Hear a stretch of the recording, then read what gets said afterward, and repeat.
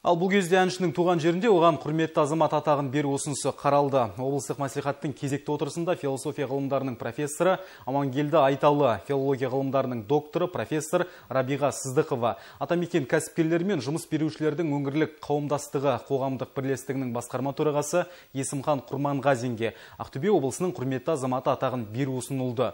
Әлемге танымал әнші Димаш Құдайберген де осы атаққа лайық. Бүгін облыстық мәслихат депутаттары ұсынысты бір ауыздан қолдады қолдады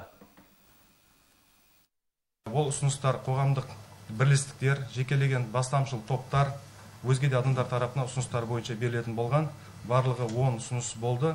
Соның ішінен төмендегідей адамдарды құрметті азамат атағына беру жөнінен шешім қабылданды. 2014 жылы дарын мемлекеттік сыйлығының лауреаты атанды. 2015 жылы жыл әншісі болды. 2016 жылы эстрада әртіс сыйлығын иеленді. 2017 жылы өздеріңіз білетін қытайда өткен үздік азиялық әнші атағын иеленді. Бүгінгі күнде жүзіндегі ең танымал әнші атағын иеленіп отқан біздің жерлесіміз.